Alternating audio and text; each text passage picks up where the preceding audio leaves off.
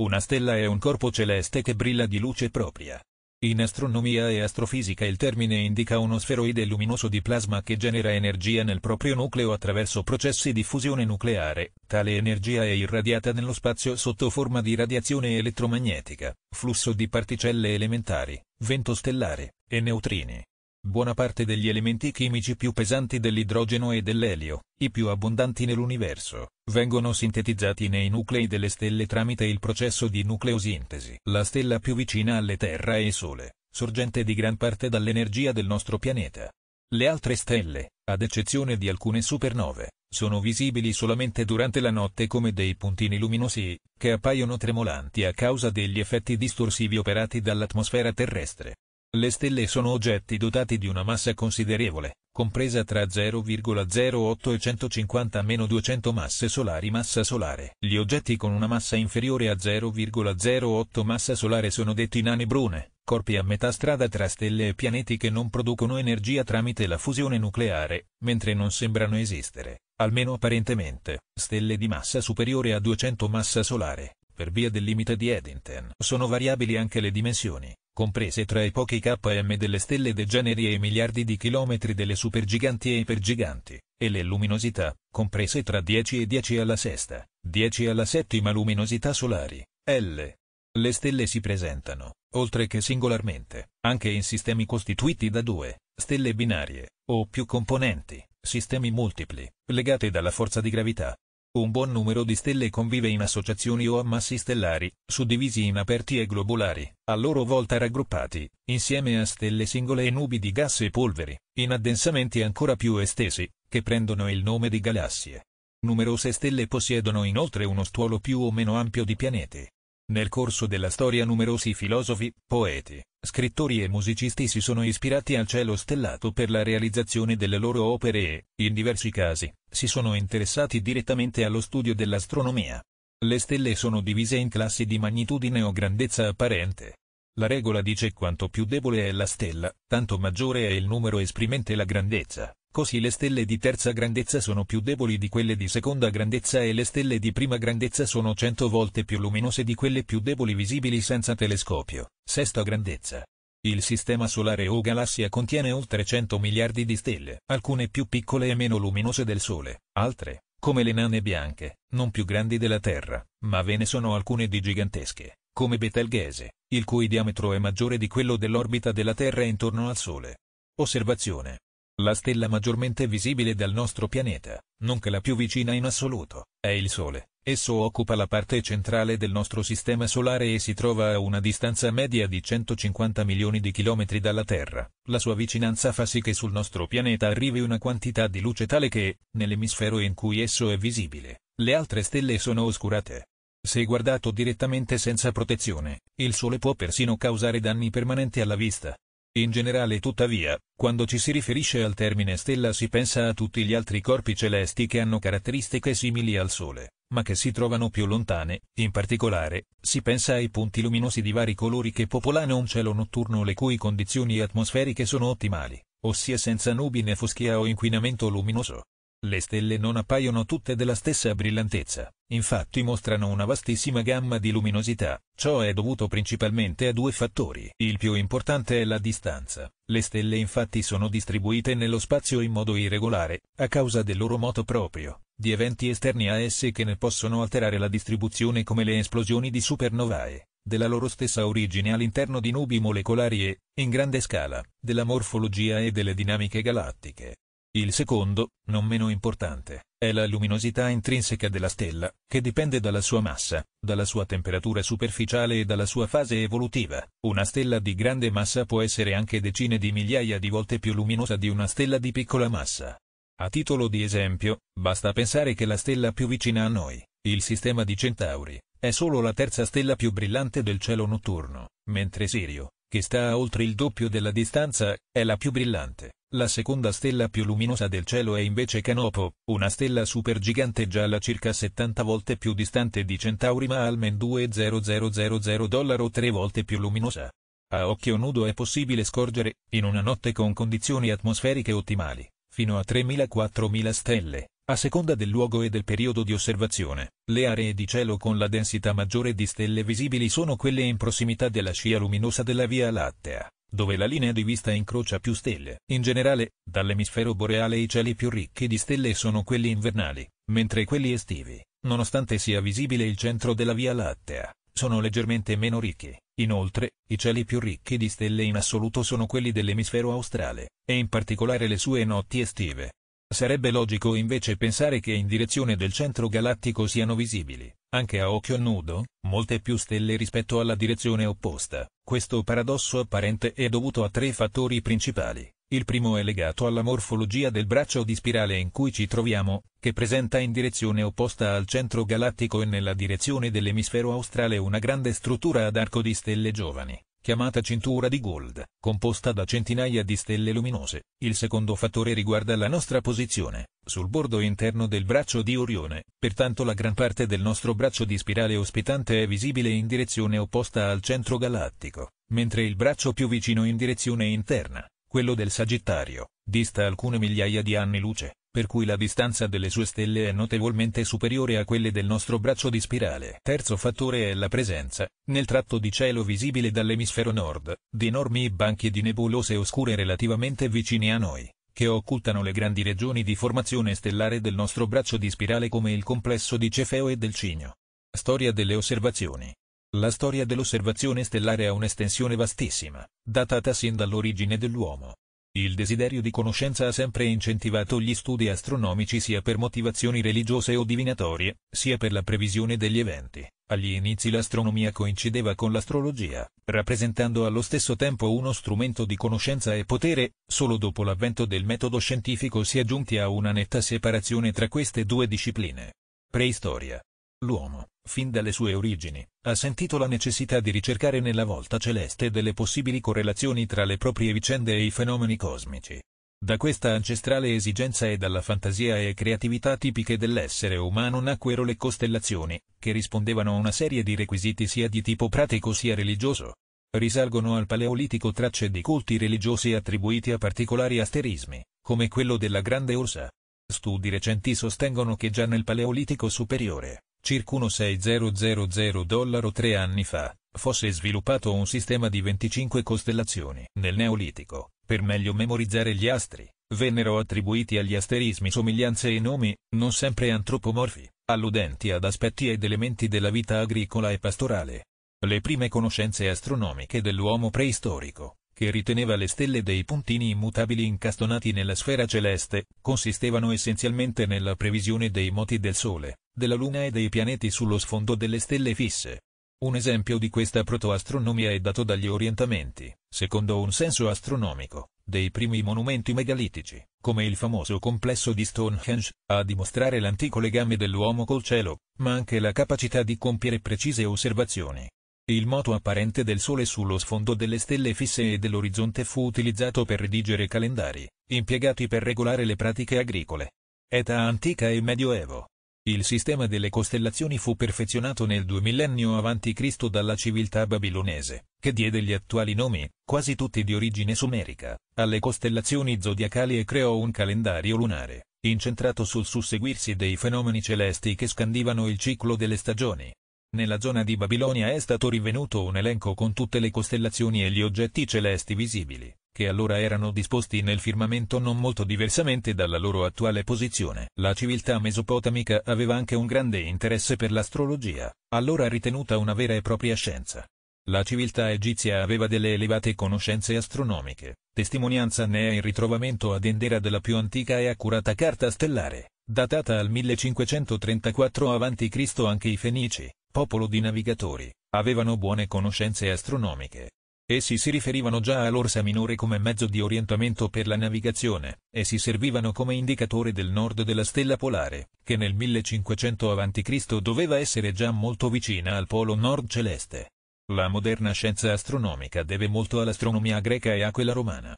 48 delle 88 costellazioni moderne furono codificate e catalogate già nel secondo secolo d.C. dall'astronomo Claudio Tolomeo, ma ancora prima di lui astronomi come Eudosso di Cnido, V. IV secolo a.C., e Ipparco di Nicea, secondo secolo a.C., stilarono cataloghi stellari sulla base di quelli prodotti dalle civiltà precedenti da essi stessi studiate. Lo stesso Ipparco, assistendo fortunosamente allo scoppio di una nova nella costellazione dello Scorpione, giunse a dubitare dell'immutabilità della sfera celeste. Inoltre egli, avendo notato, dopo attente osservazioni, che la posizione delle costellazioni era mutata rispetto a quanto annotato dagli astronomi precedenti, arrivò a scoprire il fenomeno della precessione degli equinozi, vale a dire il lento ma continuo cambiamento dell'orientamento dell'asse terrestre rispetto alla sfera ideale delle stelle fisse.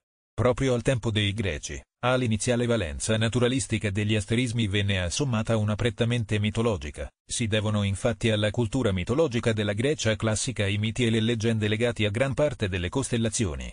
I greci assegnarono inoltre i nomi delle divinità dell'Olimpo ad alcune stelle particolari, da loro definite planetai, vagabondi, che sembravano muoversi rispetto alle stelle fisse. Si trattava dei pianeti del Sistema Solare.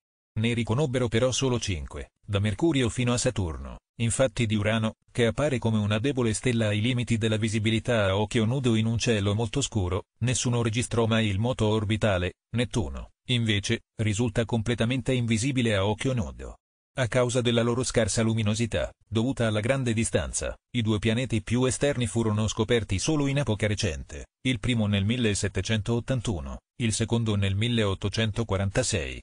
Ancora in età romana, le stelle prevalentemente erano considerate delle vere e proprie divinità, come attestato da Cicerone. Durante l'epoca medievale vi fu un generale periodo di stasi nelle ricerche astronomiche dovuto essenzialmente al fatto che gli astronomi cristiani preferirono accettare la cosmologia aristotelico-tolemaica, che risultava in sintonia con gli scritti biblici, rinunciando persino alle osservazioni si distinsero però in questo periodo gli astronomi islamici, riscopritori e grandi estimatori dell'Almagesto di Tolomeo, che diedero nomi arabi, gran parte dei quali ancora oggi usati, a un gran numero di stelle, e inventarono inoltre numerosi strumenti astronomici in grado di tenere in conto la posizione degli astri.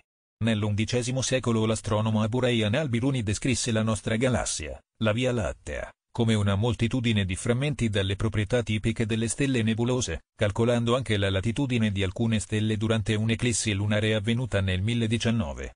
Anche gli astronomi cinesi, come Hipparco prima di loro, erano consapevoli del fatto che la sfera celeste non fosse immutabile e vi potessero apparire delle stelle mai viste prima. Esse assistettero infatti all'esplosione di diverse supernovae in epoca storica, sulle quali redassero ampie e dettagliate relazioni. Una delle più importanti fu quella la cui luce, emessa circa 3000 anni prima di Cristo, raggiunse la Terra il 4 luglio 1054. Si tratta di SN 1054, esplosa nella costellazione del Toro, il cui resto è la celebre nebulosa del Granchio, catalogata secoli dopo dal francese Charles Messier come Messier 1, M1. Sviluppi nell'età moderna. I primi astronomi europei dell'epoca moderna, come Tycho Brahe e il suo allievo Johannes Kepler, arrivarono a dubitare dell'immutabilità dei cieli. Essi infatti individuarono nel cielo notturno alcune stelle mai viste in precedenza, che denominarono stella novae, ritenendo che fossero stelle di nuova formazione. Si trattava in realtà di supernovae, ovvero stelle massicce che concludono la propria esistenza con una catastrofica esplosione. Nel 1584 Giordano Bruno, nel suo Dell'infinito universo e mondi, ipotizzò che le stelle fossero come altri soli e che attorno a esse potessero orbitare dei pianeti, probabilmente anche simili alla Terra. L'idea però non era nuova, dato che in precedenza era stata concepita da alcuni filosofi della Grecia antica, come Democrito ed Epicuro, pur inizialmente bollata come eresia. L'ipotesi guadagnò credibilità nei secoli successivi e raggiunse il consenso generale della comunità astronomica per spiegare come mai le stelle non esercitassero attrazioni gravitazionali sul sistema solare. Isaac Newton ipotizzò che le stelle fossero equamente distribuite in ogni direzione. La stessa idea era stata formulata in precedenza dal teologo Richard Bentley, cui forse si ispirò lo stesso Newton. L'italiano Geminiano Montanari registrò nel 1667 delle variazioni nella luminosità della stella Algol, per 6. Nel 1718, in Inghilterra, Edmund Halley pubblicò le prime misurazioni del moto proprio di alcune delle stelle più vicine, tra cui Arturo e Sirio, dimostrando che la loro posizione era mutata rispetto al periodo in cui erano vissuti Tolomeo e Ipparco. William Herschel, lo scopritore dei sistemi binari, fu il primo astronomo a tentare di misurare la distribuzione delle stelle nello spazio. Nel 1785 egli eseguì una serie di misure in 600 direzioni diverse, contando le stelle contenute in ciascuna porzione del campo visivo. Notò poi che la densità stellare aumentava man mano che ci si avvicinava a una determinata zona del cielo, coincidente col centro della Via Lattea, nella costellazione del Sagittario. Suo figlio John ripeté poi le misurazioni nell'emisfero meridionale, giungendo alle stesse conclusioni del padre. Herschel Senior disegnò poi un diagramma sulla forma della galassia, considerando però erroneamente il Sole nei pressi del suo centro. Astronomia stellare nell'Ottocento e nel Novecento. La prima misurazione diretta della distanza di una stella da Terra fu operata nel 1838 dal tedesco Friedrich Bessel. Egli, servendosi del metodo della parallasse, quantificò la distanza del sistema binario 61 segni, ottenendo come risultato un valore di 11,4 anni luce, tuttora accettato, seppur con maggiori affinazioni. Le misurazioni effettuate con tale metodo dimostrarono la grande distanza che intercorre tra una stella e l'altra. Joseph von Fraunhofer e Angelo Secchi furono i pionieri della spettroscopia stellare. I due astronomi, confrontando gli spettri di alcune stelle, tra cui Sirio, con quello del Sole, notarono delle differenze nello spessore e nel numero delle loro linee di assorbimento. Nel 1865 Secchi iniziò a classificare le stelle in base al proprio tipo spettrale ma lo schema classificativo attualmente utilizzato fu sviluppato nel corso del Novecento da Annie J. Cannon. Le osservazioni dei sistemi binari crebbero di importanza durante il XIX secolo. Il già citato Bessel osservò nel 1834 delle irregolarità e delle deviazioni nel moto proprio della stella Sirio, che imputò a una compagna invisibile individuata tempo dopo nella nana bianca Sirio B. Edward Pickering scoprì la prima binaria spettroscopica nel 1899, quando osservò che le linee spettrali della stella Mizar, Ursae Majoris, mostravano degli spostamenti regolari in un periodo di 104 giorni. Contemporaneamente le osservazioni dettagliate, condotte su molte stelle binarie da astronomi quali Wilhelm von Struve e Sheburne Wesley Bernham, permisero di determinare le masse delle stelle a partire dai loro parametri orbitali. La prima soluzione al problema di ricavare l'orbita di una stella binaria sulla base delle osservazioni al telescopio fu trovata da Felix Saveri nel 1827. Il XX secolo vide grandi progressi nello studio scientifico delle stelle, un valido aiuto in quest'ambito fu fornito dalla fotografia. Carl Schwarzschild scoprì che il colore di una stella, e dunque la sua temperatura effettiva, potevano essere determinati confrontando la magnitudine rilevata dall'osservazione e quella dalla fotografia. Lo sviluppo della fotometria fotoelettrica consentì delle misurazioni molto precise della magnitudine in molteplici lunghezze d'onda. Nel 1921 Albert Michelson eseguì la prima misurazione di un diametro stellare tramite l'utilizzo di un interferometro montato sul telescopio Hooker dell'osservatorio di Monte Wilson. Un importante lavoro dal punto di vista concettuale sulle basi fisiche delle stelle venne svolto nei primi decenni del secolo scorso, grazie anche all'invenzione nel 1913, da parte di Einar Hertzsprung e, indipendentemente, Henry Norris e Russell, del diagramma HR. In seguito furono sviluppati dei modelli per spiegare le dinamiche interne e l'evoluzione delle stelle, mentre i progressi conseguiti dalla fisica quantistica consentirono di spiegare con successo le particolarità degli spettri stellari, ciò ha permesso di conoscere e determinare con una certa accuratezza la composizione chimica delle atmosfere stellari. I progressi tecnologici dell'osservazione astronomica hanno consentito agli astronomi di osservare le singole stelle anche in altre galassie del gruppo locale, l'ammasso cui appartiene la nostra Via Lattea.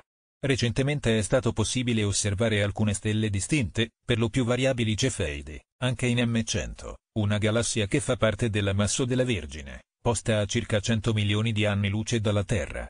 Al momento non è stato possibile osservare né ammassi stellari né tantomeno singole stelle oltre il superammasso locale. L'unica eccezione è stata la debole immagine di un vasto superammasso stellare, contenente centinaia di migliaia di stelle, posto in una galassia distante un miliardo di anni luce dalla Terra, dieci volte la distanza dell'ammasso stellare più lontano sino a ora osservato. A partire dai primi anni 90 sono stati scoperti, in orbita attorno a un cospicuo numero di stelle, numerosi pianeti extrasolari. Il primo sistema planetario extrasolare fu scoperto nel 1992 in orbita alla pulsar PSRB 1257 più 12 e consta di tre pianeti, più una probabile cometa.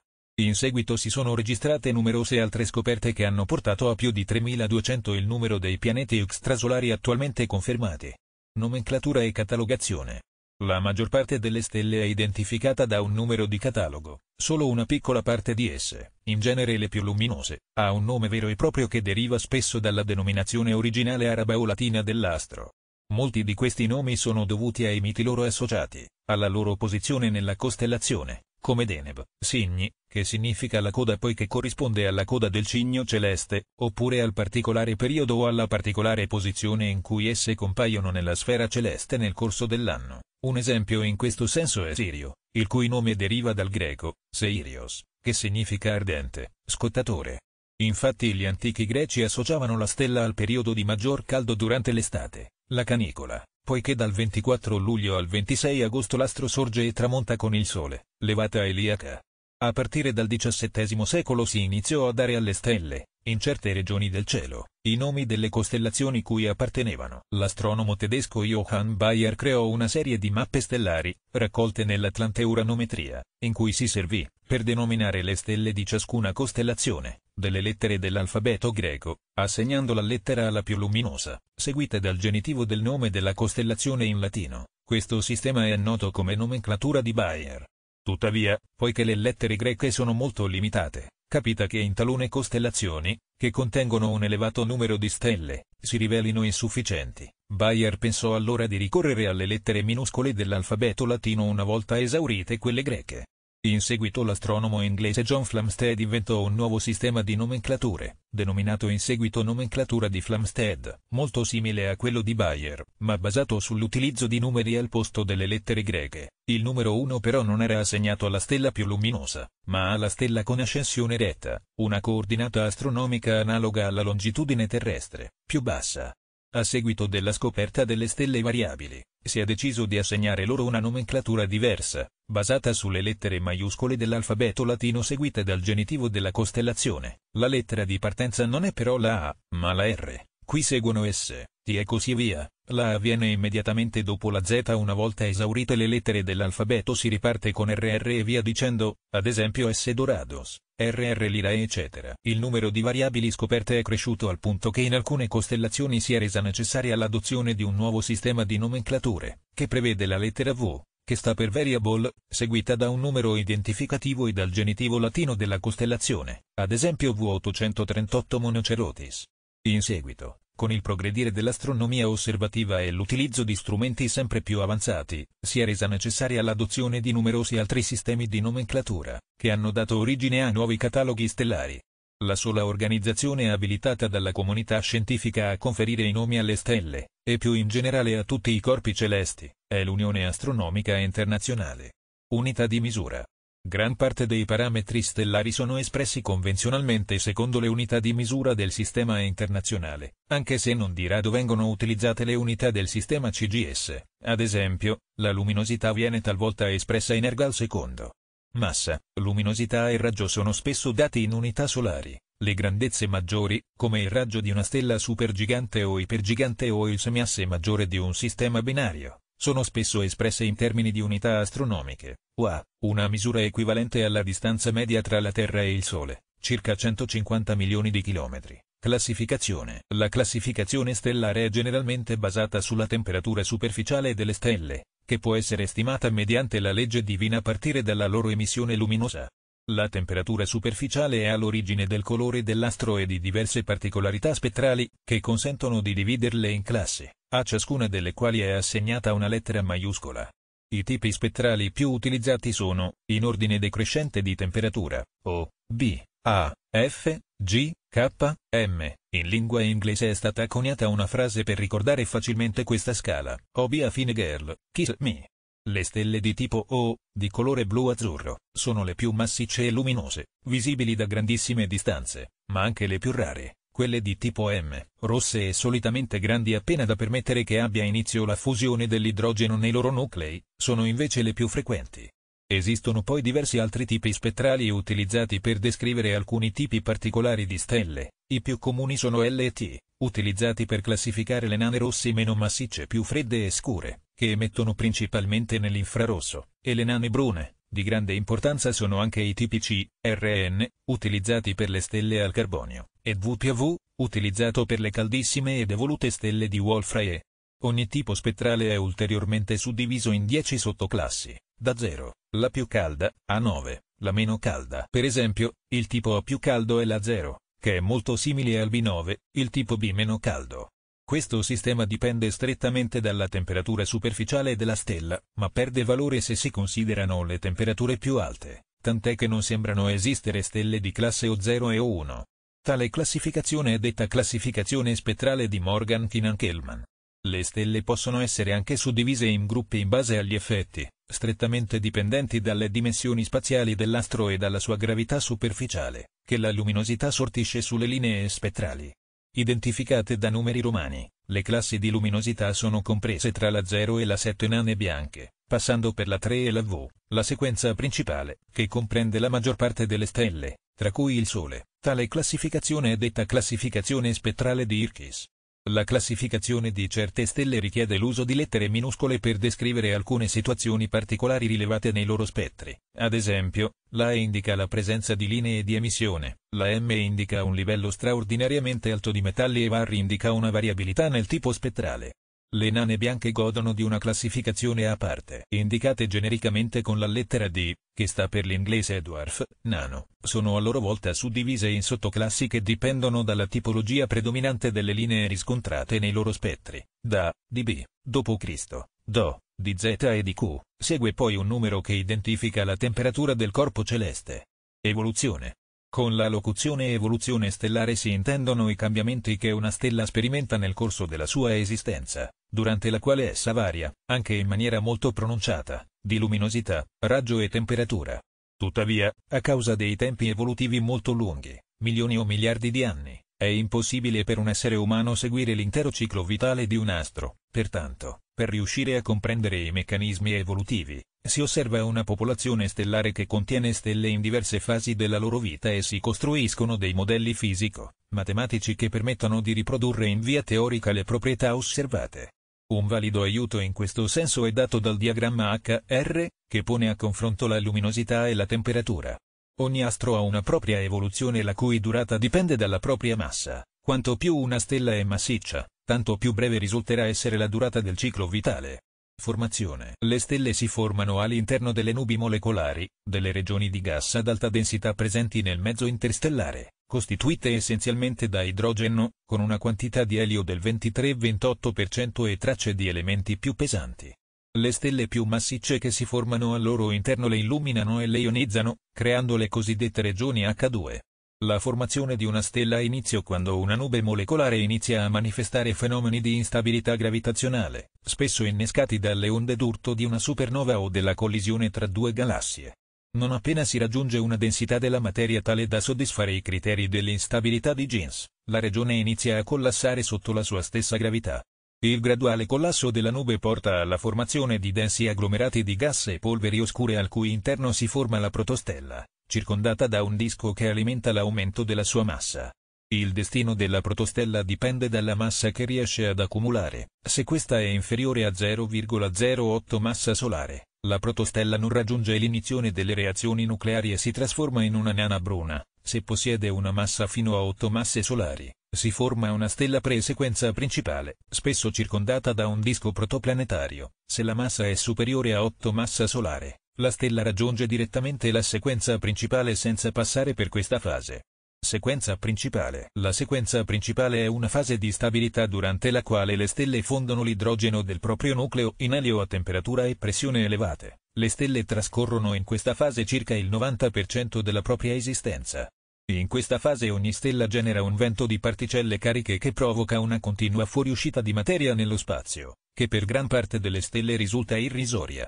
Il Sole, ad esempio, perde, nel vento solare, 10 masse solari di materia all'anno, ma le stelle più massicce arrivano a perderne decisamente di più, sino a 10, 10 masse solari all'anno. Tale perdita può riflettersi in maniera sostanziale sulla successiva evoluzione dell'astro. La durata della sequenza principale dipende dalla massa iniziale e dalla luminosità della stella. Le stelle più massicce consumano il proprio combustibile nucleare piuttosto velocemente e hanno una vita decisamente più breve qualche decina o centinaio di milioni di anni. Le stelle più piccole invece bruciano l'idrogeno del nucleo molto lentamente e hanno un'esistenza molto più lunga, decine o centinaia di miliardi di anni. La sequenza principale termina non appena l'idrogeno, contenuto nel nucleo della stella, è stato completamente convertito in elio dalla fusione nucleare. La successiva evoluzione della stella segue vie diverse a seconda della massa dell'oggetto celeste. Fase post-sequenza principale. Le stelle più piccole, le nane rosse, tra 0,08 e 0,4 masse solari, si riscaldano, divenendo per breve tempo delle stelle azzurre, per poi contrarsi gradualmente in nane bianche. Tuttavia, dato che la durata della vita di tali stelle è maggiore dell'età dell'universo, 13,7 miliardi di anni, si ritiene che nessuna di esse sia ancora giunta al termine della propria evoluzione. Le stelle la cui massa è compresa tra 0,4 e 8 masse solari attraversano, al termine della sequenza principale, una fase di notevole instabilità. Il nucleo subisce una serie di collassi gravitazionali, incrementando la propria temperatura e dando inizio a diversi processi di fusione nucleare che riguardano anche gli strati immediatamente contigui al nucleo. Gli strati più esterni invece si espandono per far fronte al surplus energetico proveniente dal nucleo e gradualmente si raffreddano, assumendo di conseguenza una colorazione rossastra. La stella, dopo essere passata per la fase instabile di suo gigante, si trasforma in una fredda ma brillante gigante rossa. Durante questo stadio la stella fonde l'elio in carbonio e ossigeno e, qualora la massa sia sufficiente 7-8 massa solare, una parte di quest'ultimo in magnesio. Parallela a quella di gigante rossa è la fase di gigante blu, che intercorre come meccanismo di compensazione qualora la velocità delle reazioni nucleari subisca un rallentamento. Si stima che il Sole diverrà una gigante rossa tra circa 5 miliardi di anni. Le sue dimensioni saranno colossali, circa 100 volte quelle attuali, e il suo raggio si estenderà sino quasi a coprire l'attuale distanza che separa la stella dalla Terra, un'unità astronomiche. Anche le stelle massicce, con massa superiore a 8 massa solare, al termine della sequenza principale, subiscono numerose instabilità, che le portano a espandersi allo stadio di supergigante rossa. In questa fase, l'astro fonde l'elio in carbonio e, all'esaurimento di questo processo, si innesca una serie di successivi collassi nucleari e aumenti di temperatura e pressione che avviano i processi di sintesi di altri elementi più pesanti, neon, silicio e zolfo, per terminare con il nickel 56, che decade in ferro 56. In tali stelle può svolgersi in contemporanea la nucleosintesi di più elementi all'interno di un nucleo pluristratificato. In ciascuno degli strati concentrici avviene la fusione di un differente elemento. Il più esterno fonde idrogeno in elio, quello immediatamente sotto fonde elio in carbonio e via dicendo, a temperature e pressioni sempre crescenti man mano che si procede verso il centro. Il collasso di ciascuno strato è sostanzialmente evitato dal calore e dalla pressione di radiazione dello strato sottostante, dove le reazioni procedono a un regime più intenso. Qualora subiscano un rallentamento i processi di fusione nucleare, le supergiganti rosse possono attraversare uno stadio simile a quello di gigante blu, che prende il nome di supergigante blu. L'astro tuttavia, prima di raggiungere questo stadio, passa per la fase di supergigante gialla, caratterizzata da una temperatura e da dimensioni intermedie rispetto alle due fasi. Le stelle supermassicce, and.e,30 massa solare, dopo aver attraversato la fase instabile di variabile blu luminosa, man mano che procedono lungo il loro percorso post-sequenza principale accumulano al loro centro un grande nucleo di ferro inerte, divengono così stelle di Wolfram e, oggetti caratterizzati da venti forti e polverosi che provocano una consistente perdita di massa. Stadi terminali quando una stella è prossima alla fine della propria esistenza, la pressione di radiazione del nucleo non è più in grado di contrastare la gravità degli strati più esterni dell'astro. Di conseguenza il nucleo va incontro a un collasso, mentre gli strati più esterni vengono espulsi in maniera più o meno violenta. Ciò che resta è un oggetto estremamente denso, una stella compatta, costituita da materia in uno stato altamente degenere. La tipologia di stella compatta che si viene a formare differisce in relazione alla massa iniziale della stella. Se la stella possedeva originariamente una massa tra 0,08 e 8 massa solare si forma una nana bianca, un oggetto dalle dimensioni piuttosto piccole, paragonabili all'incirca a quelle della Terra, con una massa minore o uguale al limite di Chandrasekhar, 1,44 massa solare. Una nana bianca possiede una temperatura superficiale molto elevata, che col tempo tende a diminuire in funzione degli scambi termici con lo spazio circostante fino a raggiungere, in un lunghissimo lasso di tempo, l'equilibrio termico e trasformarsi in una nana nera. Sino a ora non è stata ancora osservata alcuna nana nera, perciò gli astronomi ritengono che il tempo previsto perché una nana bianca si raffreddi del tutto sia di gran lunga superiore all'attuale età dell'universo. Se la stella morente ha una massa compresa tra 0,08 e 0,4 massa solare dà luogo a una nana bianca senza alcuna fase intermedia, se invece la sua massa è compresa tra 0,4 e 8 massa solare, essa, prima di trasformarsi in nana bianca, perde i suoi strati più esterni in una spettacolare nebulosa planetaria. Nelle stelle con masse superiori a 8 massa solare, la fusione nucleare continua finché il nucleo non raggiunge una massa superiore al limite di Chandrasekhar. Oltrepassato questo limite, il nucleo non riesce più a tollerare la sua stessa massa e va incontro a un improvviso e irreversibile collasso. L'onda d'urto che si genera provoca la catastrofica esplosione della stella in una brillantissima supernova di tipo 2 o di tipo Iboic, se si trattava di una stella supermassiccia, and.30 massa solare. Le supernovae hanno una luminosità tale da superare, anche se per breve tempo, la luminosità complessiva dell'intera galassia che le ospita. L'energia liberata nell'esplosione è talmente elevata da consentire la fusione dei prodotti della nucleosintesi stellare in elementi ancora più pesanti, in un fenomeno detto nucleosintesi delle supernovae.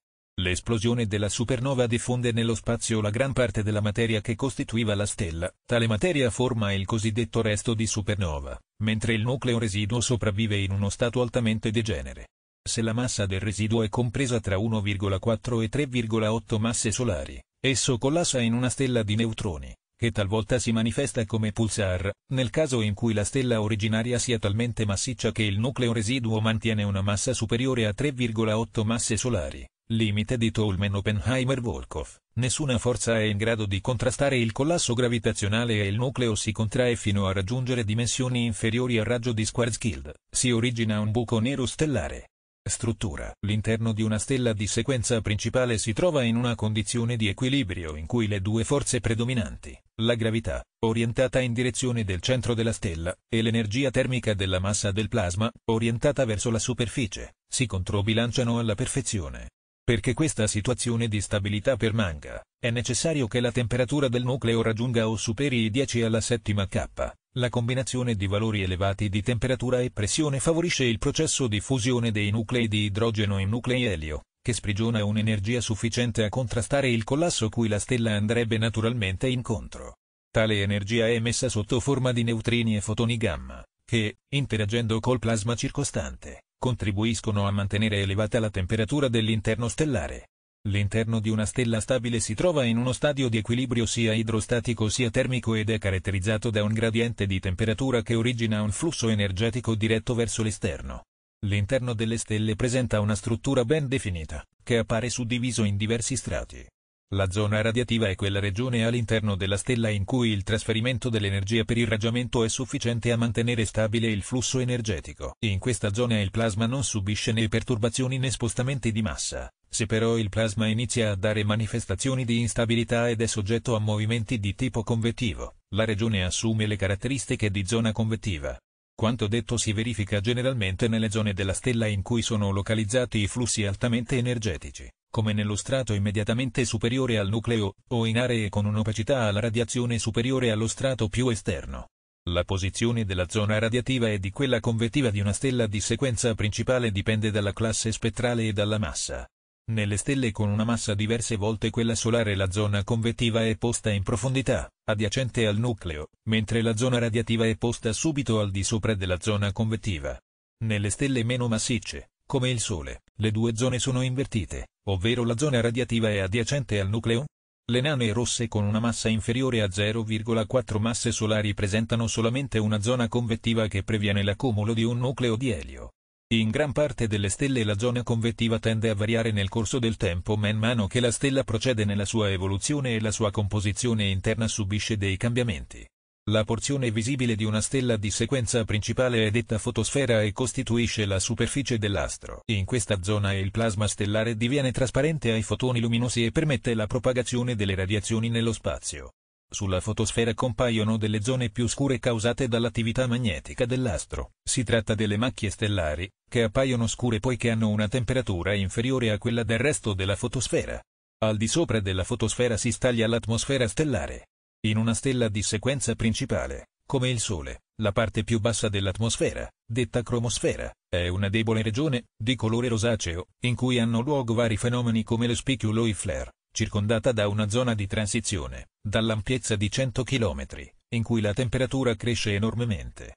Al di sopra si trova la corona, un volume di plasma poco denso a elevatissima temperatura, oltre il milione di Kelvin, che si estende nello spazio per diversi milioni di chilometri. L'esistenza della corona sembra dipendere dalla presenza della zona convettiva in prossimità degli strati superficiali della stella. A dispetto dell'altissima temperatura, la corona emette una quantità relativamente piccola di luce e risulta visibile, nel caso del Sole, solo durante le eclissi. Dalla corona si diparte un vento stellare, costituito da plasma estremamente rarefatto e particelle cariche, che si propaga nello spazio sino a quando non viene a interagire col mezzo interstellare, dando origine, soprattutto nel caso delle stelle massicce, a delle cavità del mezzo interstellare dette bolle.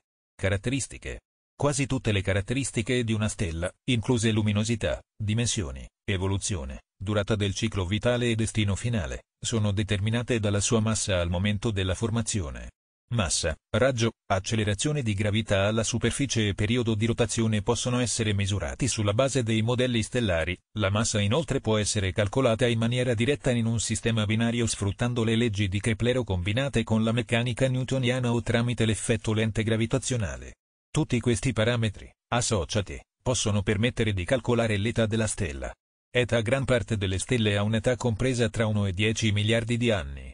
Vi sono stelle che però hanno età prossime a quella dell'universo, 13,7 miliardi di anni. La stella più vecchia conosciuta, Chi 1523-0901, ha un'età stimata di 13,2 miliardi di anni. Studi in banda submillimetrica effettuati con il radiotelescopio ALMA hanno evidenziato che le prime stelle si sarebbero formate quando l'universo aveva circa il 2% dell'età attuale. La durata del ciclo vitale di una stella dipende dalla massa che essa possiede al momento della sua formazione. Quanto più una stella è massiccia, tanto più la durata del suo ciclo vitale è breve. Infatti la pressione e la temperatura che caratterizzano il nucleo di una stella massiccia sono nettamente superiori a quelle presenti nelle stelle meno massicce, di conseguenza l'idrogeno viene fuso in maniera più efficiente tramite il ciclo CNO anziché secondo la catena protone-protone, che produce una quantità di energia superiore mentre le reazioni avvengono a un ritmo più serrato. Le stelle più massicce hanno una vita prossima al milione di anni, mentre le meno massicce, come le nane arancioni e rosse, bruciano il proprio combustibile nucleare molto lentamente arrivando a vivere per decine o centinaia di miliardi di anni. Composizione chimica. Al momento della loro formazione, le stelle sono composte prevalentemente da idrogeno ed elio, con una piccola percentuale di elementi più pesanti, detti metalli. Tra di essi vi sono però alcuni elementi, come l'ossigeno e il carbonio, che dal punto di vista chimico non sono realmente dei metalli. La quantità di tali elementi nell'atmosfera stellare è detta metallicità, mH, o, più spesso, FH, ed è definita come il logaritmo decimale della quantità di elementi pesanti, soprattutto il ferro, rispetto all'idrogeno, diminuita del logaritmo decimale della metallicità del Sole. Così, se la metallicità della stella presa in esame è pari a quella solare, il risultato sarà pari a zero. Ad esempio, un valore del logaritmo pari a 0,07 equivale a un tasso reale di metallicità di 1,17, il che significa che l'astro è più ricco di metalli rispetto alla nostra stella del 17%. Tuttavia il margine d'errore della misura rimane relativamente alto. Le stelle più antiche, dette di popolazione 2, sono costituite da idrogeno, per circa il 75%, elio, per circa il 25%, e una frazione molto piccola, AND, 0,1%, di metalli. Nelle stelle più giovani, dette di popolazione I, invece, la percentuale di metalli sale fino a circa il 2%-3%, mentre l'idrogeno ed elio hanno percentuali rispettivamente dell'ordine del 70%-75% e 24%-27%. Queste differenze sono dovute al fatto che le nubi molecolari, da cui le stelle si originano, sono costantemente arricchite dagli elementi pesanti diffusi dalle esplosioni delle supernove. La determinazione della composizione chimica di una stella può essere, quindi, utilizzata per determinare la sua età. La frazione di elementi più pesanti dell'elio è generalmente misurata sulla base delle quantità di ferro contenute nell'atmosfera stellare, dato che il ferro è un elemento abbastanza comune e le sue linee di assorbimento sono piuttosto facili da identificare. La quantità degli elementi pesanti è anche indice della probabile presenza di un sistema planetario in orbita attorno alla stella. La stella col minor contenuto di ferro mai misurato è la gigante rossa SMSS J160540,1814432,3,1, con appena un fratto 1.500.000 del contenuto ferroso del Sole. Al contrario, la stella Leonis è ricchissima in metalli, con una metallicità circa il doppio di quella del Sole, mentre 14 Hercules, attorno alla quale orbita un pianeta, 14 Herculis b, ha una metallicità tre volte superiore. Alcune stelle, dette stelle peculiari, mostrano nel proprio spettro un'insolita abbondanza di metalli, specialmente cromo e lantanidi, le cosiddette terre rare. La metallicità influenza inoltre la durata della sequenza principale, l'intensità del campo magnetico e del vento stellare. Le vecchie stelle di popolazione 2 hanno una metallicità minore delle più giovani stelle di popolazione I, poiché le nubi molecolari da cui si sono formate queste ultime possedevano una maggiore quantità di metalli. Dimensioni apparenti e reali. A causa della grande distanza dalla Terra, tutte le stelle, eccetto il Sole, appaiono all'occhio umano come dei minuscoli punti brillanti nel cielo notturno scintillanti a causa degli effetti distorsivi dell'atmosfera terrestre. Il Sole invece, pur essendo esso stesso una stella, è abbastanza vicino al nostro pianeta da apparire come un disco che illumina il nostro pianeta dando luogo al giorno. Oltre al Sole, la stella con la maggiore grandezza apparente è R Dorados, con un diametro angolare di soli 0,057 secondi d'arco. Le dimensioni angolari del disco di gran parte delle stelle sono troppo piccole per permettere l'osservazione delle strutture superficiali attive, come le macchie, con gli attuali telescopi ottici di Terra, pertanto l'unico modo per riprodurre immagini di tali caratteristiche è l'utilizzo di telescopi interferometrici. È possibile misurare le dimensioni angolari delle stelle anche durante le occultazioni, valutando il calo di luminosità di una stella mentre essa è occultata dalla Luna o l'aumento di luminosità della stessa al termine dell'occultazione. Le dimensioni reali delle stelle sono estremamente variabili. Le più piccole, le stelle di neutroni, hanno dimensioni comprese tra 20 e 40 km, mentre le più grandi, ipergiganti e supergiganti, hanno raggi vastissimi, con dimensioni dell'ordine delle unità astronomiche. Ad esempio quello di Betelgeuse, Orionis, è 630 volte quello del Sole circa un miliardo di km, quasi 6,7 unità astronomiche. Tali stelle possiedono tuttavia densità decisamente inferiori a quella del nostro Sole, tanto che la loro atmosfera è assimilabile a un vuoto spinto. La stella più grande conosciuta è V Canis Majoris, il cui diametro è quasi 2000 volte quello del Sole. Se si trovasse al centro del Sistema Solare, la sua atmosfera si estenderebbe sino all'orbita di Saturno. Massa. Le stelle sono oggetti dotati di una massa considerevole, compresa tra 1,5913 per 10 e 3,9782 per 10 kg, in unità solari, da 0,08 a 150-200 masse solari massa solare. Una delle stelle più massicce conosciuta è l'ipergigante LBV Eta Carinae, la cui massa è stimata in 100-150 massa solare. Tuttavia una simile massa comporta una sensibile riduzione della vita dell'astro, che vive al massimo per alcuni milioni di anni.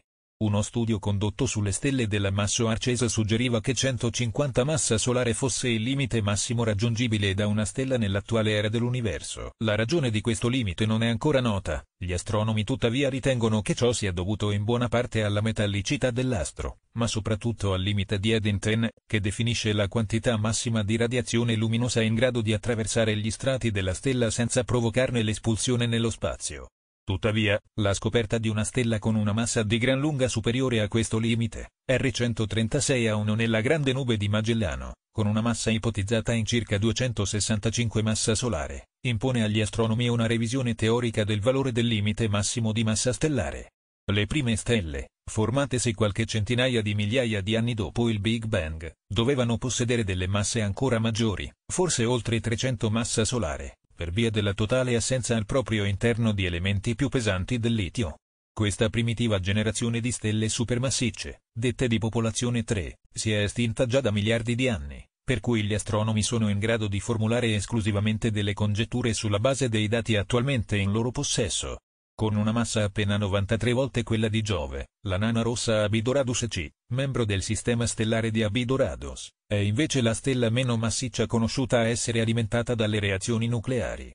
Gli astronomi ritengono che per le stelle dotate di una metallicità simile a quella del Sole la massa minima per innescare la fusione nucleare sia di circa 75 masse gioviane. Un recente studio, condotto sulle stelle meno massicce, ha permesso di scoprire che, se la metallicità è molto bassa, la massa minima perché un astro possa produrre energia tramite la fusione nucleare corrisponde a circa l'8,3% della massa solare, circa 87 masse gioviane. Una particolare tipologia di oggetti, che prende il nome di nane brune, costituisce l'anello di congiunzione tra le stelle nane e i pianeti giganti gassosi, la loro massa non è sufficiente a innescare le reazioni nucleari, ma è comunque nettamente superiore a quella di un gigante gassoso. Gravità superficiale. La combinazione di raggio e massa determina la gravità superficiale della stella. Le stelle giganti hanno una gravità decisamente minore di quella delle stelle di sequenza principale, che a loro volta hanno una gravità inferiore a quella delle stelle degeneri, nane bianche e stelle di neutroni. Tale caratteristica è in grado di influenzare l'aspetto di uno spettro stellare, causando talvolta un allargamento o uno spostamento delle linee di assorbimento. Moti spaziali. I moti di una stella rispetto al Sole possono fornire utili informazioni sulla sua origine e sulla sua età, come pure sulla struttura complessiva e sull'evoluzione del resto della galassia.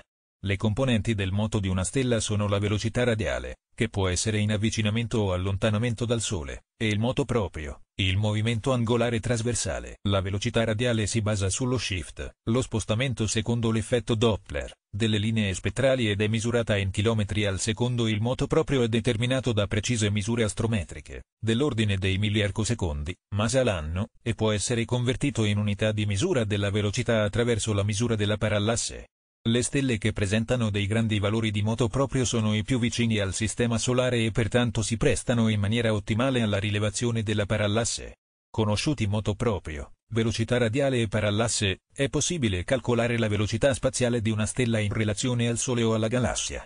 Si è scoperto tra le stelle vicine che le stelle di popolazione hanno in genere velocità minori delle più antiche stelle di popolazione 2. Queste ultime inoltre orbitano attorno al centro della Via Lattea secondo traiettorie ellittiche, inclinate verso il piano galattico. La comparazione dei moti di stelle vicine ha anche portato all'identificazione delle associazioni stellari, gruppi di stelle che condividono un medesimo punto di origine in una nube molecolare gigante. La stella col più alto valore conosciuto di moto proprio è la stella di Barnard, una nana rossa della costellazione dello Fiuco. Campo magnetico. Il campo magnetico di una stella è generato all'interno della sua zona convettiva, nella quale il plasma, messo in movimento dai moti convettivi, si comporta come una dinamo. L'intensità del campo varia in relazione alla massa e alla composizione della stella, mentre l'attività magnetica dipende dalla sua velocità di rotazione. Un risultato dell'attività magnetica sono le caratteristiche macchie fotosferiche, regioni a temperatura inferiori rispetto al testo della fotosfera in cui il campo magnetico si presenta particolarmente intenso. Altri fenomeni strettamente dipendenti dal campo magnetico sono gli anelli coronari e i flare. Le giovani stelle, che tendono ad avere una velocità di rotazione molto alta, hanno un'attività magnetica molto intensa. I campi magnetici possono influire sui venti stellari arrivando ad agire come dei freni che rallentano progressivamente la rotazione della stella man mano che essa compie il proprio percorso evolutivo. Per questo motivo le stelle non più giovani, come il Sole, compiono la propria rotazione in tempi più lunghi e presentano un'attività magnetica meno intensa. I loro livelli di attività tendono a variare in maniera ciclica e possono cessare completamente per brevi periodi di tempo. Un esempio fu il minimo di Maunder, durante il quale il Sole andò incontro a un settantennio di attività minima, in cui il numero delle macchie fu esiguo, se non quasi assente per diversi anni. Rotazione. La rotazione stellare è il movimento angolare di una stella sul proprio asse di rotazione, la cui durata può essere misurata in base al suo spettro o in maniera più accurata monitorando il periodo di rotazione delle strutture attive superficiali, macchie stellari.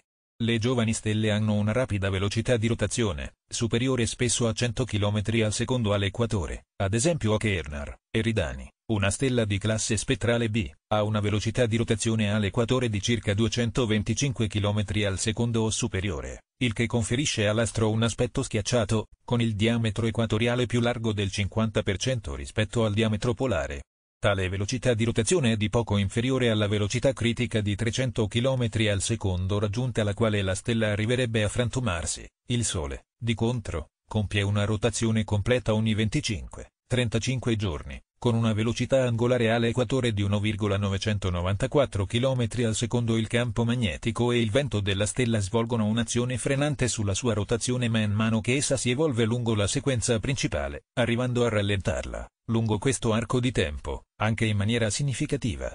La stella più sferica nota, Kepler 11.145.123, con appena 3 km di differenza tra diametro polare ed equatoriale ha un periodo di rotazione di circa 27 giorni. Le stelle degeneri hanno una massa elevata ed estremamente densa, ciò comporta una velocità di rotazione elevata, ma non sufficiente a raggiungere la velocità in grado di favorire la conservazione del momento angolare. cioè la tendenza di un corpo in rotazione a compensare una contrazione nelle dimensioni con una crescita nella velocità di rotazione. La perdita di gran parte del momento angolare da parte della stella è il risultato della perdita di massa attraverso il vento stellare. Fanno eccezione le stelle di neutroni, che, manifestandosi come sorgenti radiopulsanti, possono avere delle velocità di rotazione elevatissime. La pulsar del granchio, posta all'interno della nebulosa del granchio, ad esempio, ruota 30 volte al secondo. La velocità di rotazione di una pulsar è però destinata a diminuire nel corso del tempo, a causa della continua emissione di radiazioni. Temperatura. La temperatura superficiale di una stella di sequenza principale è determinata dalla quantità di energia che viene prodotta nel nucleo e dal raggio del corpo celeste. Un valido strumento per la sua misurazione è l'indice di colore, che è normalmente associato alla temperatura effettiva, vale a dire la temperatura di un corpo nero ideale che irradia la propria energia con una luminosità per area superficiale simile a quella della stella presa in considerazione. La temperatura effettiva è però solamente un valore rappresentativo, le stelle possiedono un gradiente di temperatura che diminuisce all'aumentare della distanza dal nucleo, la cui temperatura raggiunge valori di decine di milioni talvolta persino miliardi, di Kelvin. La temperatura della stella determina l'entità della ionizzazione dei differenti elementi che la compongono, ed è pertanto misurata a partire dalle caratteristiche linee di assorbimento dello spettro stellare. Temperatura superficiale e magnitudine assoluta sono utilizzate nella classificazione stellare.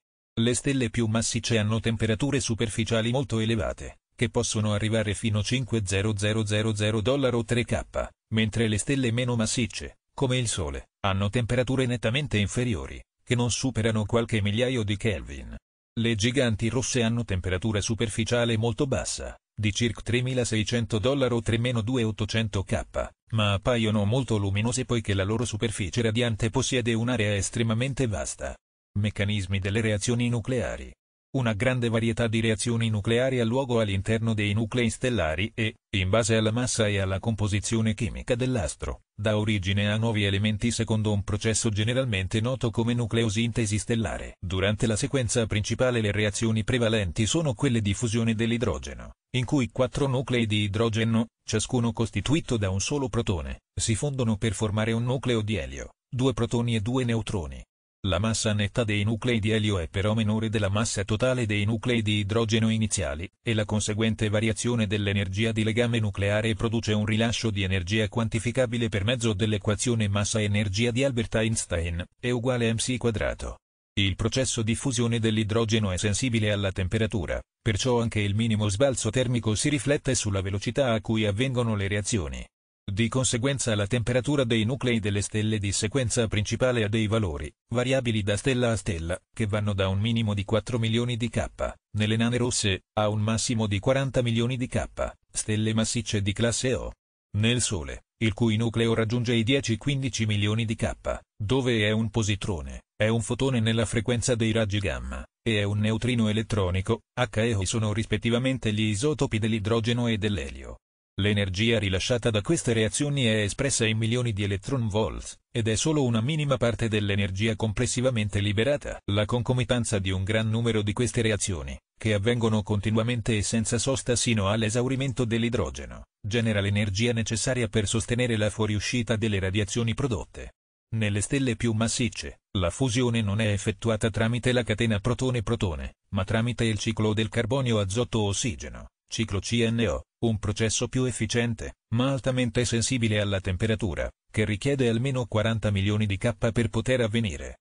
I nuclei di elio delle stelle più evolute, che abbiano masse comprese tra 0,5 e 10 masse solari, hanno temperature prossime ai 100 milioni di K, tali da permettere di convertire questo elemento in carbonio per mezzo del processo 3-alfa. Le stelle più massicce sono in grado di fondere anche gli elementi più pesanti, in un nucleo in progressiva contrazione, tramite i diversi processi nucleosintetici, specifici per ciascun elemento, il carbonio, il neo nell'ossigeno.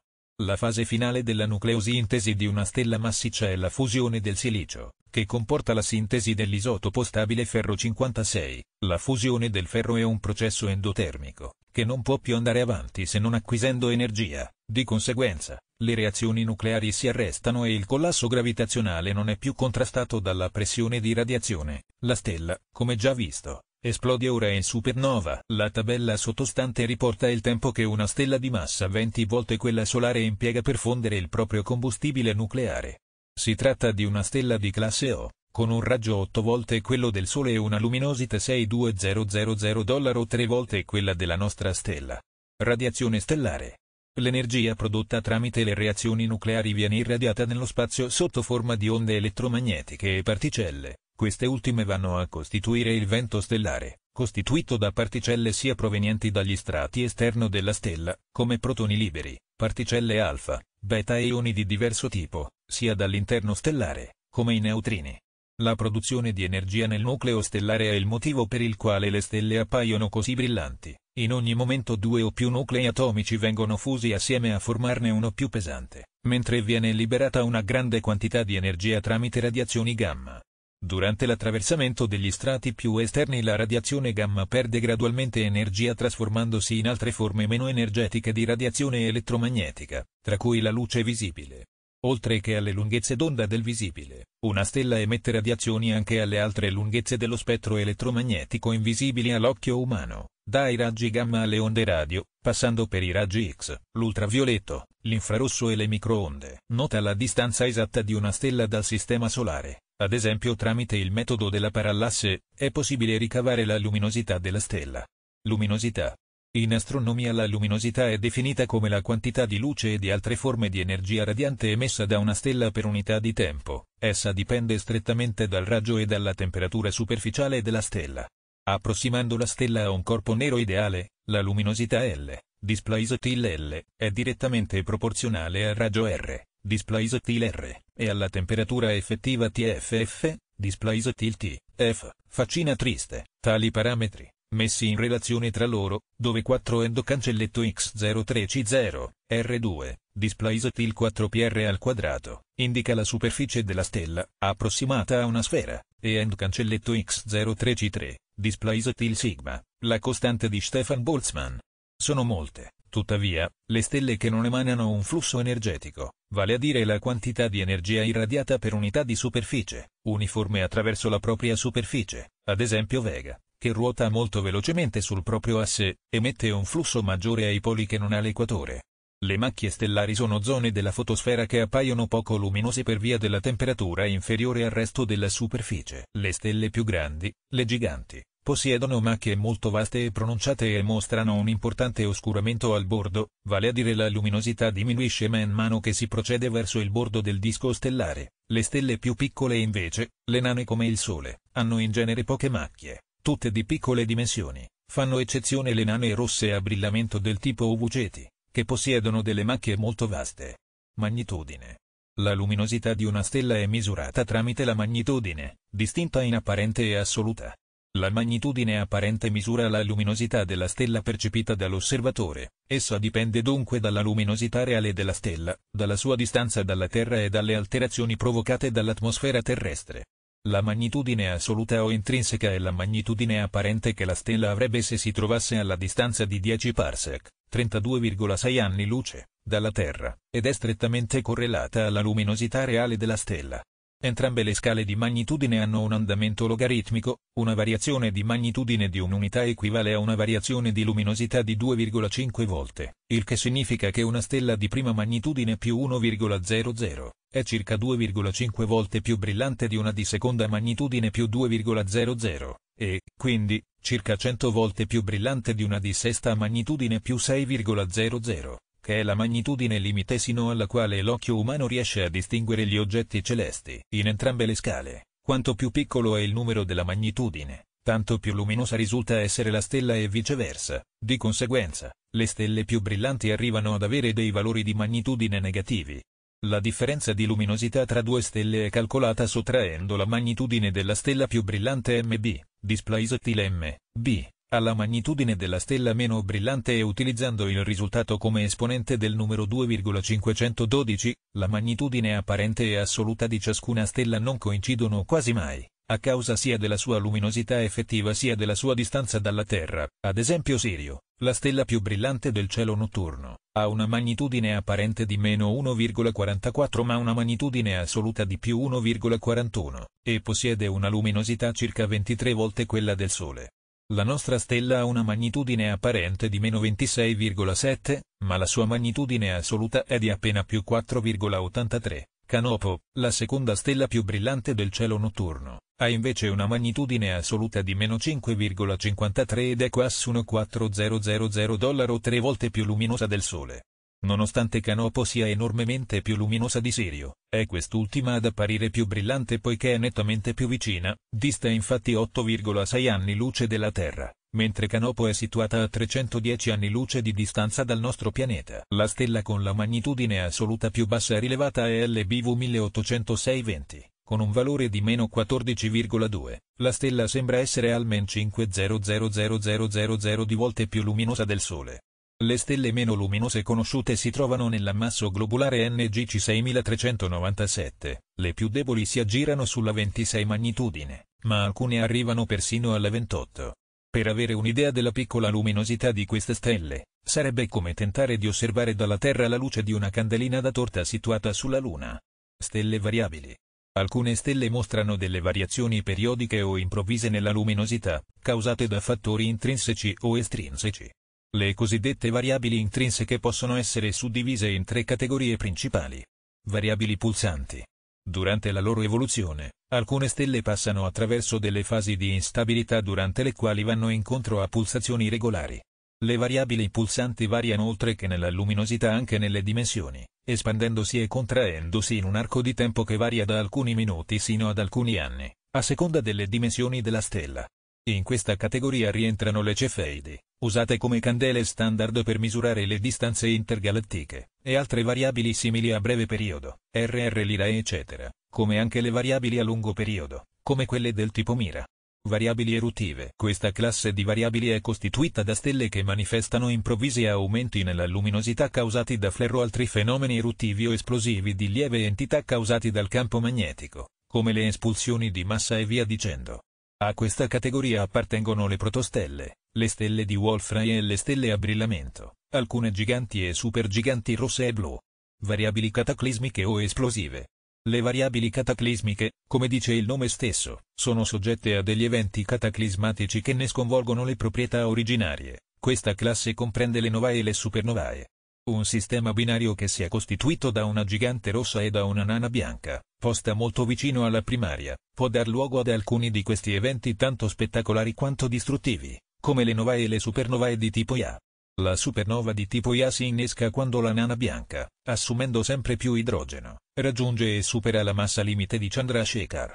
A questo punto la nana inizia a collassare in una stella di neutroni o in un buco nero, mentre l'energia potenziale gravitazionale del collasso e la condizione di alta densità derivante dallo stato degenere della materia della stella innescano una rapida fusione nucleare degli atomi di carbonio e ossigeno rimanenti in un processo a feedback positivo, regolato principalmente dalla temperatura del plasma coinvolto. L'improvviso rilascio di energia produce una potentissima onda d'urto che accelera i prodotti di fusione oltre la velocità di fuga della stella, la quale viene così fatta a pezzi. Le supernovae di tipo Ia hanno tutte una luminosità simile, perciò gli astronomi le utilizzano come candele standard per determinare le distanze extragalattiche. Il meccanismo di formazione di una nova è piuttosto simile, ma l'esplosione avvenne prima che la nana raggiunga la massa di Chandrasekhar. La fusione produce quindi abbastanza energia per aumentare drasticamente la luminosità della stella, ma questa sopravvive all'evento. Alcune novae sono ricorrenti, cioè vanno incontro a periodiche esplosioni di moderata intensità. Le stelle possono anche variare la propria luminosità per fattori estrinseci, in questo caso prendono il nome di variabili estrinseche. Appartengono a questa classe le binarie a eclisse e le stelle che, ruotando, mostrano periodicamente delle macchie che ricoprono una vasta area della loro superficie. Un esempio lampante di binaria a eclisse è Algol, che varia regolarmente la propria magnitudine da 2,3 a oltre 3,5 in 2,87 giorni. Popolazione stellare dell'universo.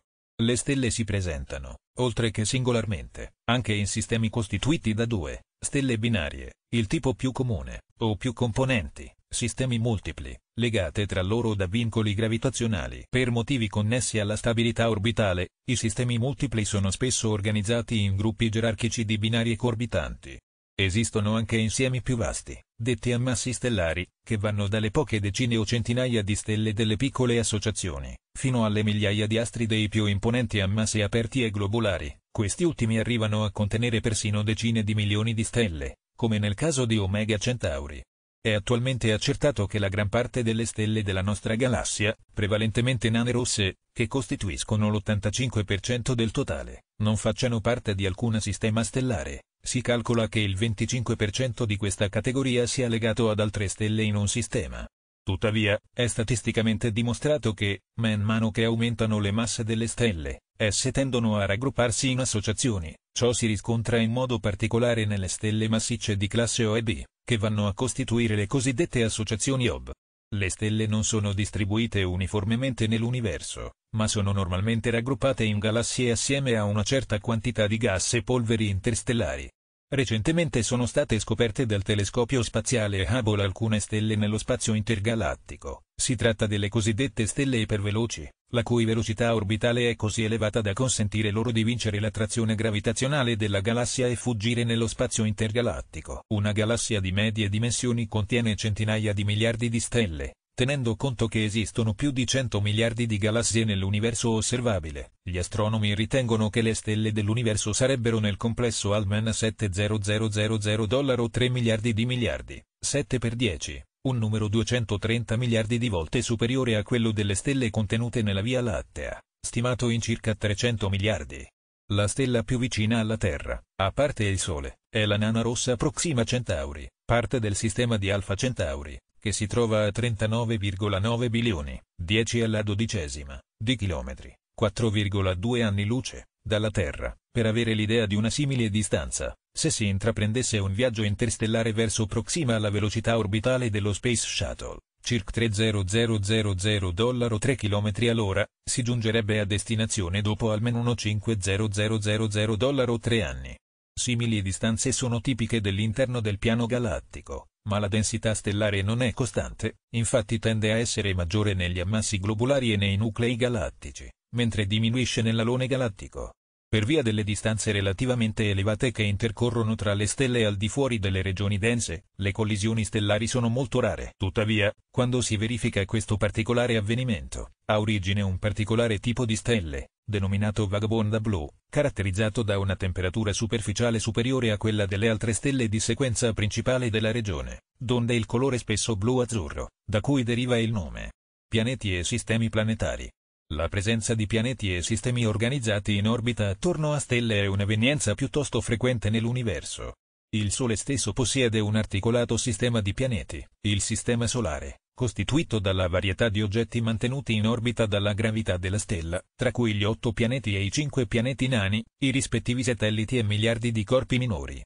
La presenza di pianeti al di fuori del Sistema Solare è stata per lungo tempo oggetto di congetture, fino al 1992, quando furono scoperti due pianeti rocciosi intorno alla pulsar PSRB 1257-12. Si trattava dei primi pianeti extrasolari a essere scoperti intorno a una pulsar, il che suscitò un grande interesse nella comunità scientifica in quanto si supponeva che solamente le stelle di sequenza principale potessero avere pianeti.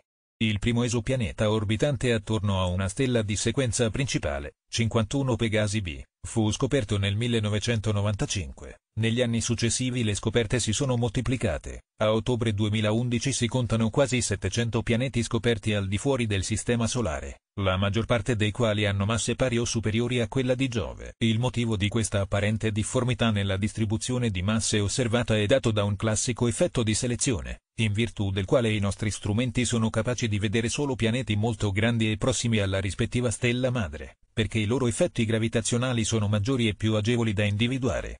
Nella cultura. Etimologia. Il termine stella è stato oggetto di numerose etimologie e interpretazioni da parte dei linguisti. Sino agli inizi del XX secolo due erano le etimologie prevalenti, la prima, proposta dal tedesco Adalbert Kuhn, sosteneva che stella derivasse dal latino stella, originariamente sterla, forma sincopata di sterula, che a sua volta deriverebbe dall'ittita scittare dal sanscrito, la cui radice sita è comune col verbo che significa spargere, secondo quest'etimologia stella significherebbe sparsa, per il firmamento. Altri studiosi a lui contemporanei ritenevano che il termine derivasse invece da un arcaico astella, a sua volta derivato dal greco, aster, in latino astrum, che mantiene la radice indoeuropea es, di accezione balistica. Secondo questa seconda etimologia stella significherebbe che scaglia, raggi di luce. Attualmente i linguisti propendono per due alternative etimologie. La prima tende a far derivare il termine da una radice proto-indoeuropea, H2-ster, da una radice H2HS che significherebbe ardere, bruciare. In alternativa, il termine deriverebbe da una parola sumera o babilonese, riconoscibile anche nel nome della dea Istar, con cui si indicava il pianeta Venere. Letteratura, filosofia e musica. Nell'avvicendarsi delle epoche storiche furono molti i filosofi, i poeti, gli scrittori e persino i musicisti a ispirarsi al cielo stellato. In diversi casi, essi stessi si sono interessati in prima persona allo studio dell'astronomia, con riscontri nelle loro opere. Numerosi sono i riferimenti sulle stelle fatti da importanti letterati dell'antichità greca e romana.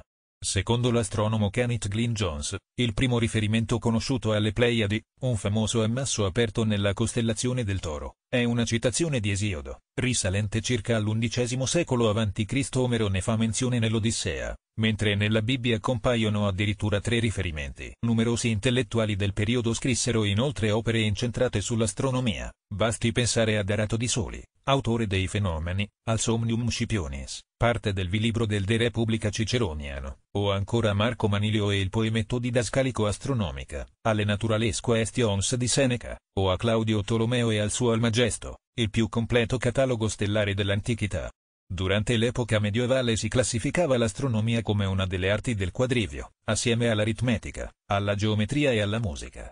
Dante Alighieri, nella Divina Commedia, ha trattato diversi aspetti del sapere dell'epoca, indugiando particolarmente sulle conoscenze astronomiche del tempo. Le tre cantiche del poema inoltre terminano con la parola stelle, infatti esse, quali sede del paradiso, sono per Dante il naturale destino dell'uomo e della sua voglia di conoscenza, tramite il suo sforzo a salire a guardare verso l'alto. Altri importanti letterati, quali Giacomo Leopardi, si occuparono nelle loro opere di argomenti inerenti ad aspetti astronomici. Il poeta di Recanati è autore nei suoi componimenti di un gran numero di riferimenti astronomici, come ad esempio in Canto notturno di un pastore errante dell'Asia o in Le ricordanze. Inoltre scrisse, durante la sua gioventù, un poco noto trattato intitolato Storia dell'astronomia, celebre l'aforisma di Emerson, aggancia il tuo carro a una stella. Riferimenti astronomici sono presenti anche in diverse liriche del Pascoli come in Gelsomino notturno, in Giuseppe Ungaretti, che compose una poesia intitolata Stella, e nel romanzo Il piccolo principe di Antoine de Saint-Exupéry. Nell'epoca romantica la musica, come del resto le altre arti, poneva il suo fondamento su tutti gli episodi in grado di scatenare nell'animo umano quelle forti sensazioni che prendono il nome di sublime, in particolare la vista del cielo stellato influì sulla creazione dei cosiddetti notturni, i più importanti dei quali furono composti dal polacco Friedrich Chopin che ne scrisse 21. Diversi altri riferimenti astronomici sono presenti nelle opere per pianoforte e nella sesta sinfonia di Beethoven. Il genere del notturno non si esaurì con il romanticismo, ma proseguì nell'età post-romantica. Il riferimento importante è dato dai due notturni nella settima sinfonia di Gustav Mahler e nelle atmosfere notturne ricorrenti nei poemi di Richard Strauss, in particolare nella Sinfonia delle Alpi. Nel campo delle arti figurative è sufficiente pensare a Leonardo da Vinci per comprendere le innumerevoli affinità tra scienza e arte e, sebbene Leonardo non si sia interessato di astronomia, nelle sue ricerche riuscì comunque ad abbracciare concetti scientifici inerenti alla natura dell'universo comparandoli ad altri più umanistici sulla natura umana. Altri artisti, quali Albrecht Dürer, Etienne L. Trouvelot, Giacomo Balla, Moritz Ciesker, furono persino spinti ad approfondire gli studi astronomici per rappresentarne i concetti scientifici nelle loro opere. Anche Salvador Dali restò fortemente influenzato dagli sconvolgimenti teorici arrecati alla fisica primo novecentesca da parte della teoria della relatività di Einstein. Altri ancora, come Giotto, Vincent van Gogh e John Miro, subirono il fascino irresistibile della volta celeste e, semplicemente, vollero rappresentare il cielo stellato sulla tela o nelle elaborazioni stilistiche a loro più congeniali.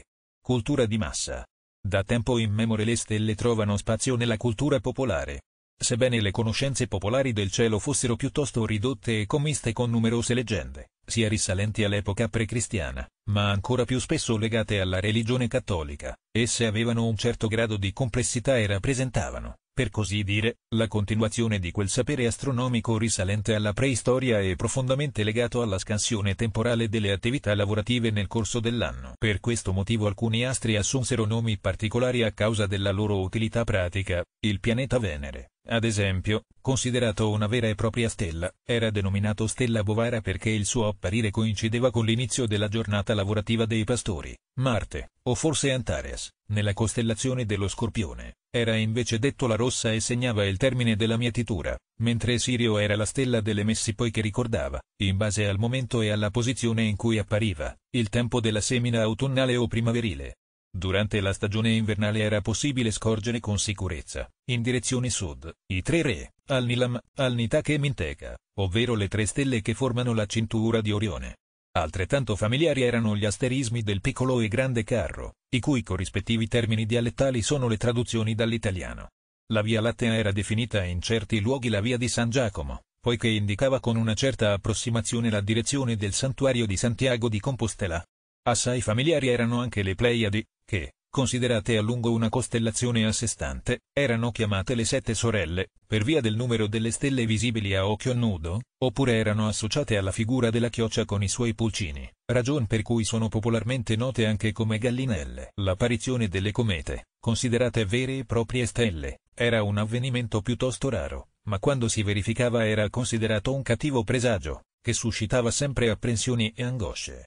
Nella tradizione popolare cristiana, invece, esse hanno assunto una valenza positiva. Basti pensare alla stella di Betlemme, tradizionalmente considerata una cometa, che si ritiene abbia guidato i re magi sino a Betlemme, dove sarebbe nato Gesù. Anche le meteore, popolarmente dette stelle cadenti, rivestivano un ruolo particolare nella cultura popolare. Erano infatti considerate un buon auspicio, in particolar modo quelle che comparivano nella notte di San Lorenzo, ovvero le Perseidi. Al giorno d'oggi, specialmente nei paesi industrializzati o in via di forte sviluppo, questo stretto contatto fra la cultura popolare e la volta celeste si è perso, soprattutto a causa del sempre più crescente inquinamento luminoso. Nonostante diverse amministrazioni regionali stiano prendendo provvedimenti per cercare di arginare questa forma di inquinamento, oggi è molto difficile osservare le stelle dai centri urbani, pertanto l'unico modo per compiere delle buone osservazioni resta quello di recarsi quanto più lontano possibile dalle luci cittadine, in luoghi dove gli effetti dell'inquinamento luminoso si facciano sentire il meno possibile. Nella fantascienza, la nascita e lo sviluppo del genere letterario della fantascienza, a partire dai primi anni del XX secolo, ha ridestato nel pubblico l'interesse per le stelle.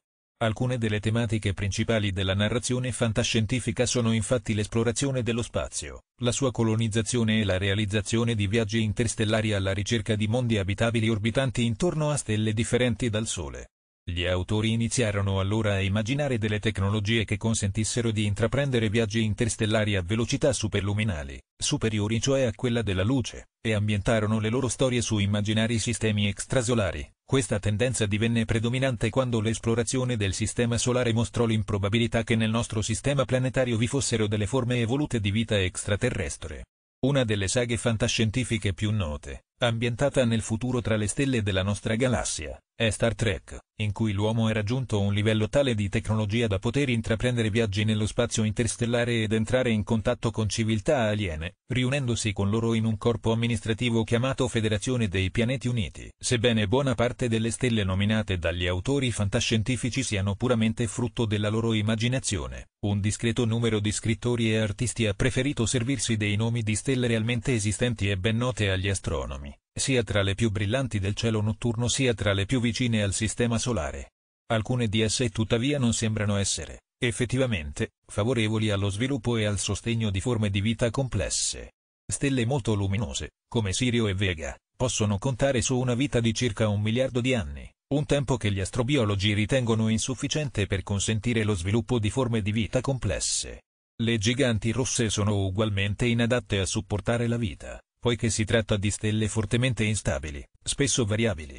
Le stelle effettivamente idonee allo sviluppo della vita, come le deboli nane rosse, possiedono però una luminosità così bassa da renderle invisibili a occhio nudo, per tale motivo molte di esse non possiedono spesso specifici nomi propri, che le renderebbero interessanti per gli scrittori di fantascienza. Questo audio usa il materiale della pagina Wikipedia Stella il cui indirizzo è it.wikipedia.org slash wiki slash stella che è rilasciato sotto la licenza Creative Commons. Attribution Share Alike 3.0 Unported, CC BY SA 3.0. Vedi informazioni all'indirizzo creativecommons.org slash licenses slash by SA slash 3.0.